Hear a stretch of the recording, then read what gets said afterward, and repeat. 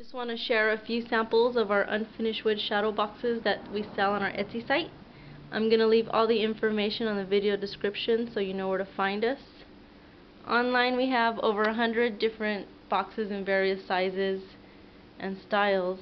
My father makes them for us and he can also customize a box for you if you need a particular size for your mixed media, art, assemblage, collage, um, memory boxes, altars, and um, also online we have supplies that fit perfect inside these boxes. We have a lot of neat stuff that you won't be able to find at big craft stores. We're a small business, so we try to make items that are unique, supplies, raw items that are unique.